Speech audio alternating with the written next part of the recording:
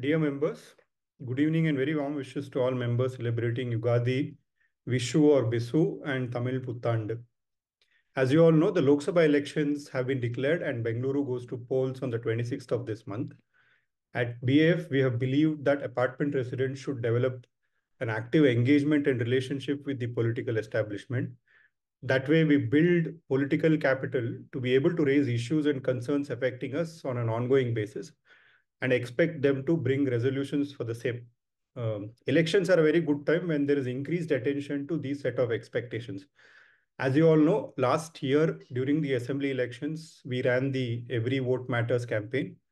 It definitely helped set expectations and requirements uh, at the state level. And we have been following through on those requirements with the state governments as well as with MLAs across party lines.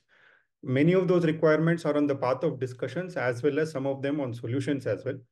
Um, so this means that this approach works. Uh, so this Lok Sabha elections are also a good opportunity to take this process forward. So we are running in another edition of uh, the Every Vote Matters campaign this time as well. Um, so uh, on the context of this campaign, I have uh, um, I request all the members to support this fully.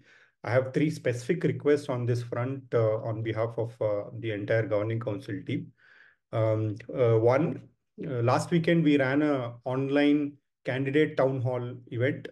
Many candidates who are contesting from the various Bengaluru constituencies joined it. Please go through that video to review the inputs that the candidates were able to share on our expectations.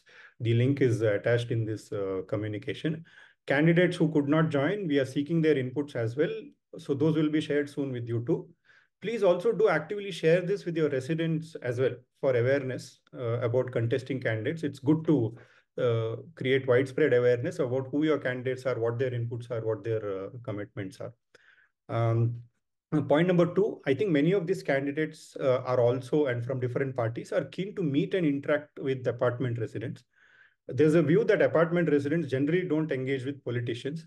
I think we have to dispel that myth. Uh, I urge all of you to provide an audience to candidates when they come to come with requests to meet you and your uh, residents uh, and your community. At BAF also, we are trying to organize, uh, at least at a cluster level, meet your candidate kind of uh, uh, events in the next week or so. Please do participate in that as well. It's a good opportunity to meet those candidates, ask them questions, get to know them, play, play some expectations. Uh, finally, um, please motivate and facilitate all your residents to go out and vote on the 26th.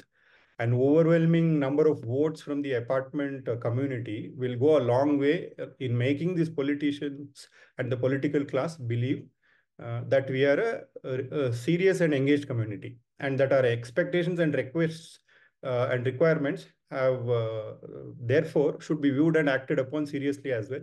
So as you all know, the numbers matter. So the number of votes that go in and uh, also matter. So there are 12 uh, days to go for voting day.